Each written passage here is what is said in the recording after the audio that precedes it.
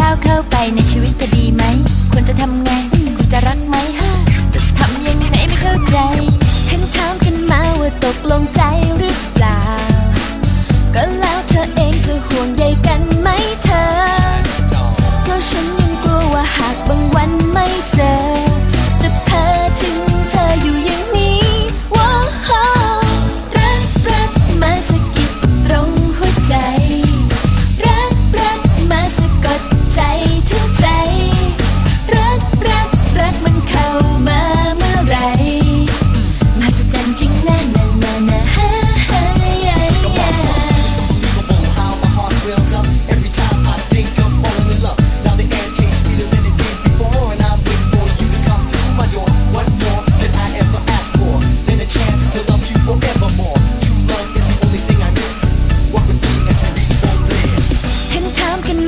ตกลงใจหรือเปล่า